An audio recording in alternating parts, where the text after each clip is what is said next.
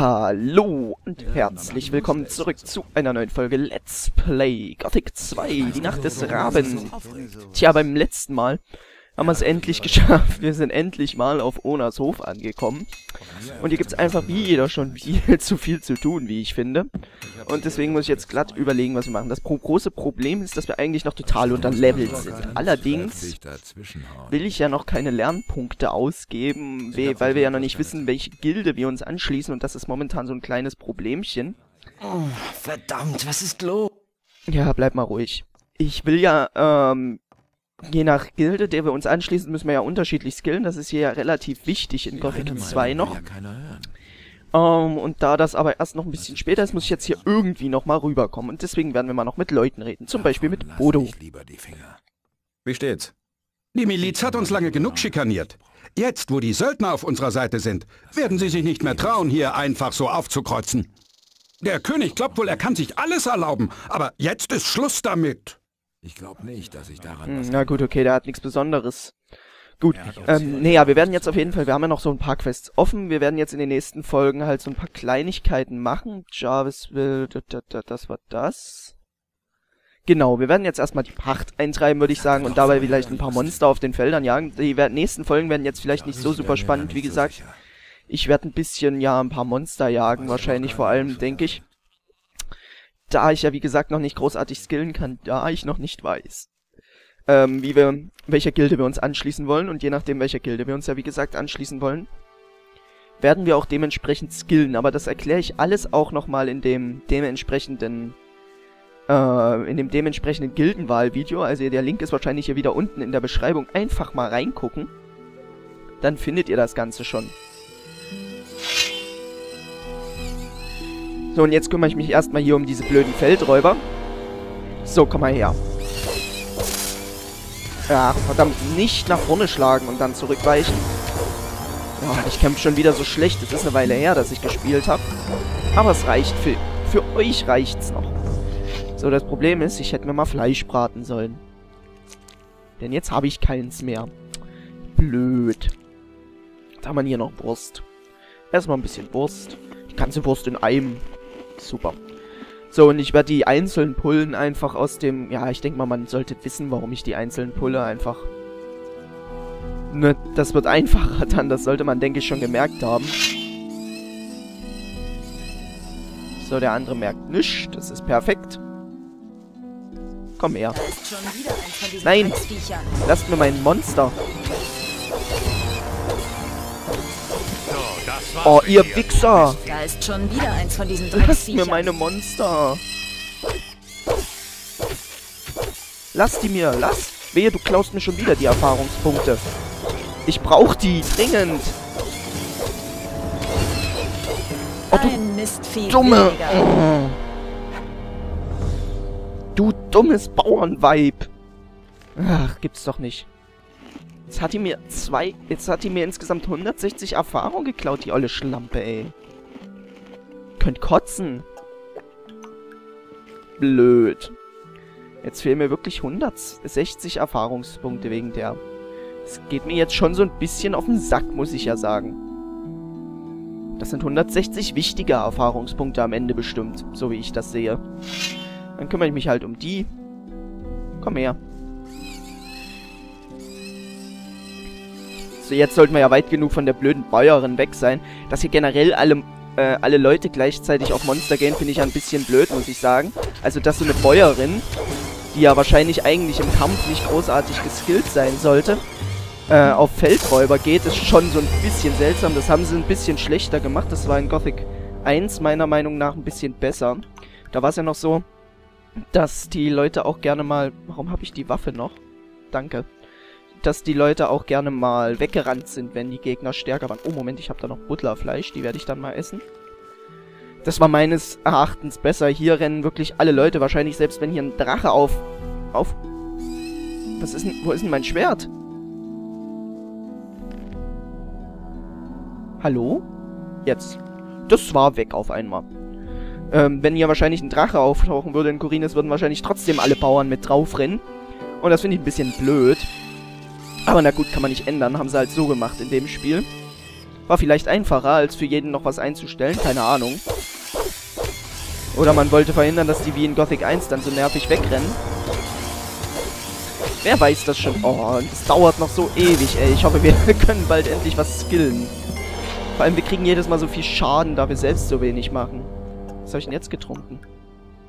Irgendeine Suppe wieder. Ich wollte doch eigentlich erstmal die Buddlerfleisch futtern hier. Habe ich jetzt Heilkraut ver... Oh, ich wollte eine Heilpflanze essen. Mm, ich verbrauche schon wieder meine wertvollsten Kräuter hier. So, hier waren doch irgendwo Scavenger. Lass mich raten, die wurden von einem Wolf angefallen oder sowas und sind jetzt irgendwo hingerannt. Ach, wie blöd.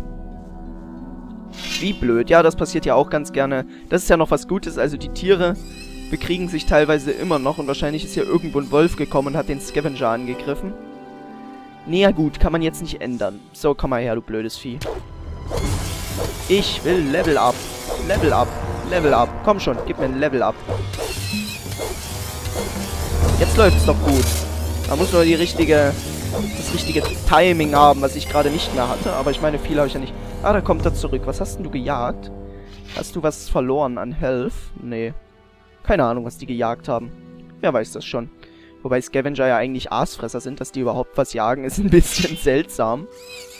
Generell, dass die einen eigentlich angreifen, die sollten eigentlich eher wegrennen, denke ich. Die sind ja Aasfresser. Hätte man auch mal machen können, muss ich sagen. Also, dass eben eigentlich alle Tiere angreifen, ich rede mal jetzt von Fleischschwanzen ausgenommen, ähm, sondern dass es auch wirklich Tiere gibt, die nur Pflanzenfresser sind, die einen nicht sofort angreifen.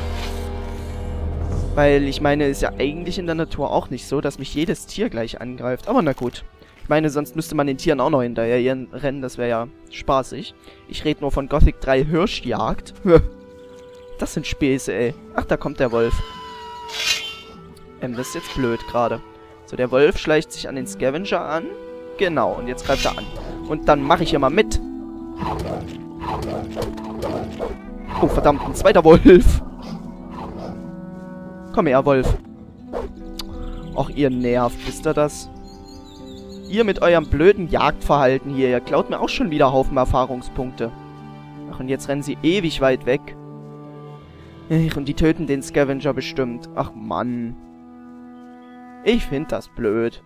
Wie viele Erfahrungspunkte mir hier schon wieder flöten gegangen sind durch so eine Kleinigkeiten, ne? Naja. So, ich glaube hier, die Bauern hatten sogar einen Namen, ne? Wenn ich mich richtig erinnere. Bar Barbera, genau. Barbara. Hallo, schönes Mädchen. Das sagt er irgendwie zu jedem, oder? Süßholzraspeln wirkt bei mir nicht, Junge. Sag, was du willst, ich hab zu tun. Den Spruch bringt er bei jedem. Wie oder bei jeder. Guck dir die riesigen Felder an, die wir bestellen müssen, dann weißt du, wie's läuft. Suchst du Landarbeit? Ganz bestimmt nicht. Nein. Eigentlich will ich Söldner werden. Dann bist du hier falsch. Die Söldner findest du meistens auf dem Hof des Großbauern. Na gut. Das weiß ich ja schon. Du hast mir echt viel zu sagen gehabt. Du bist ein normaler Bauer, du machst hier schöne Feldarbeit, mach das mal weiter.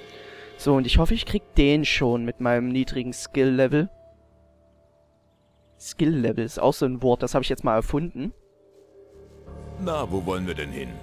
Bist du hier der Oberaufseher? Ich geb dir gleich ein paar hinter die Ohren, du Bengel.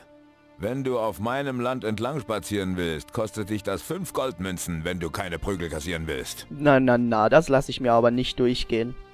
Dein Land? Bist du hier der Bauer?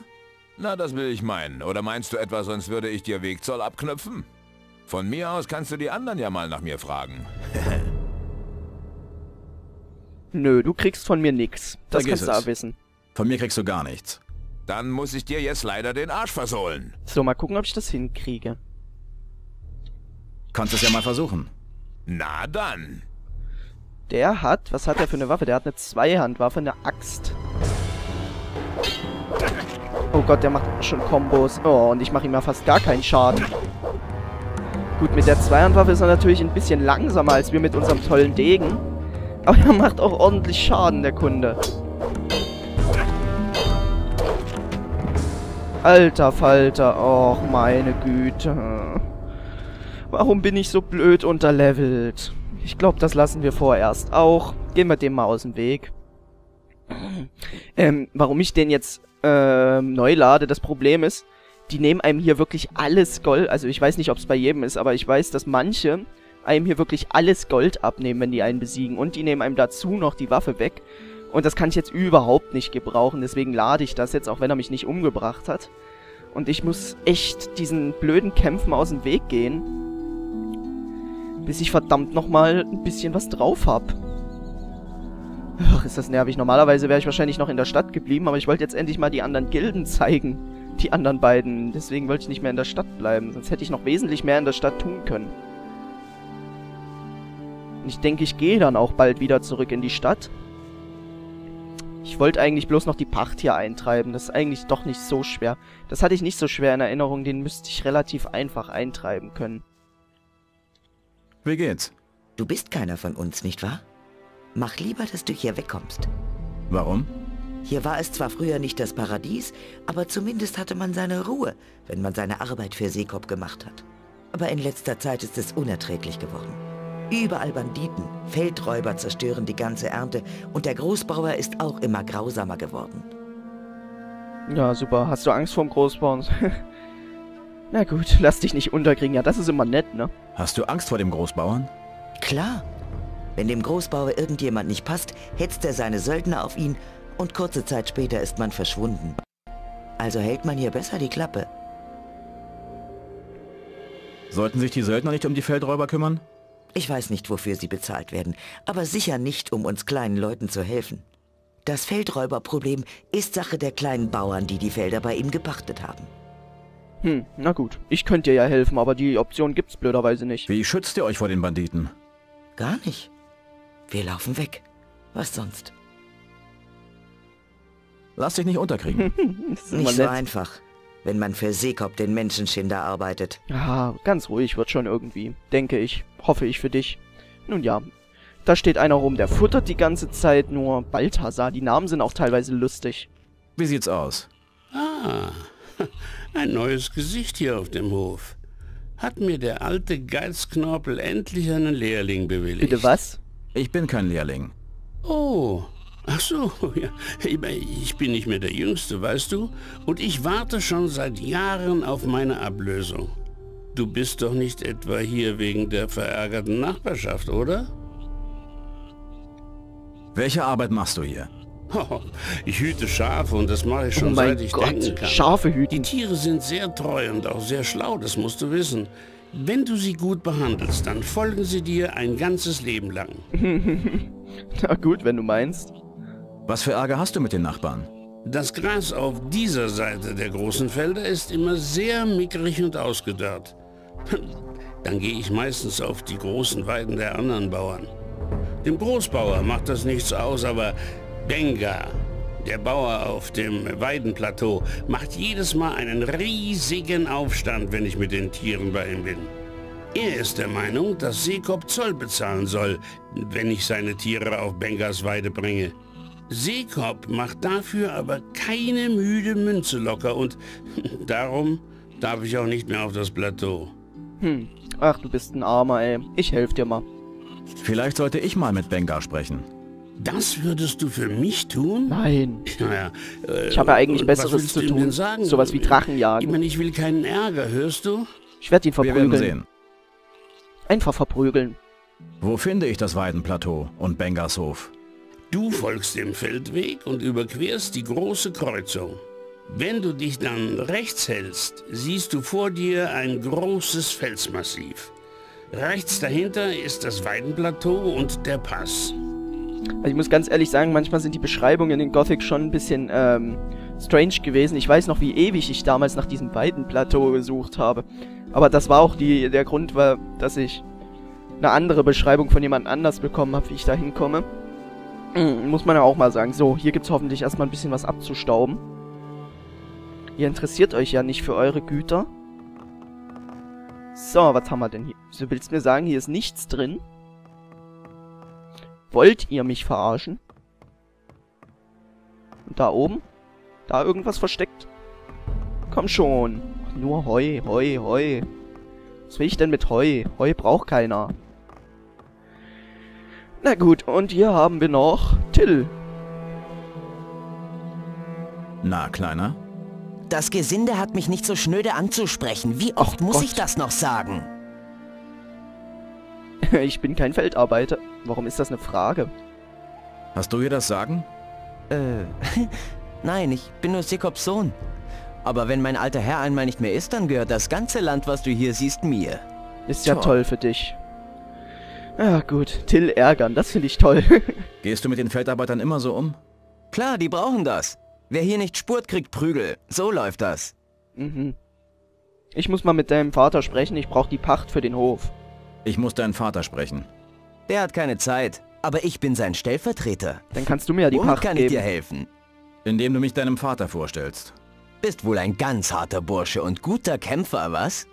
Der Beste. Hm, Ich glaube, dann sollte ich ihn mal besser holen. Lass mal, Junge. Ich werde ihn schon finden. Wie du meinst. Gott, da will er ihn erst haben Hey. und dann doch nicht, oder wie? Ach Gott. Was machst du denn so, wenn du nicht gerade den Hof regierst? Aufpassen. Die dreckigen Milizen der Stadt kommen immer häufiger auf unser Land und stehlen alles, was sie in die Hände bekommen. Erst letzte Woche waren die Dreckskerle noch hier und haben einige unserer Schafe einfach mitgenommen.